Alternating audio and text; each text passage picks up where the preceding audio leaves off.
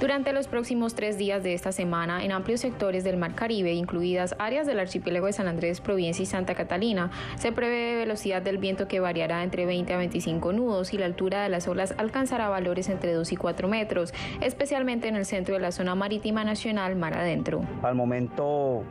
haciendo referencia al comunicado especial número 046 del, del, Centro de Investigaciones Oceanográficas e Hidrográficas del Caribe, continuamos viendo la interacción entre un sistema de alta presión de 1029 milibares ubicado al oeste del Océano Atlántico Norte y un sistema de baja presión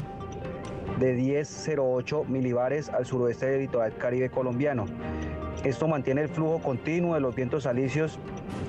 del este en el Mar Caribe con velocidades de 20 a 25 nudos y una altura del oleaje de 2 a 2.2 metros. Para las próximas horas se prevé que incremente sus condiciones debido a la interacción entre los sistemas. De igual forma, las autoridades manifiestan que en adición también se sentirá el efecto producido por el tránsito de una onda tropical del este del Mar Caribe colombiano.